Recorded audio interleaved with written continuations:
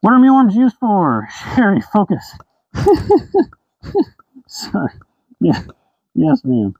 Uh, what are mealworms used for? So mealworms are used as a feeder, uh, as a feed source for poultry, reptiles, small mammals.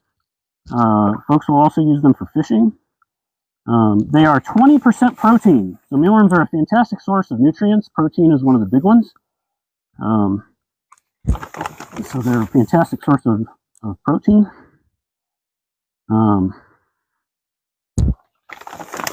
and they're a real nice way to use up materials around. So like food waste.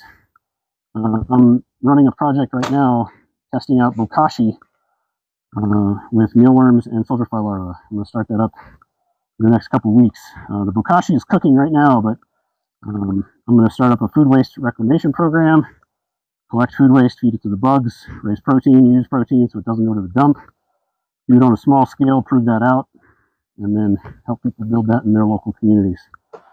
Um, and then those insects, like mealworms and, and soldier fly, can be used to feed animals. The frass from these things can be used um, for your soil, to amend your soil.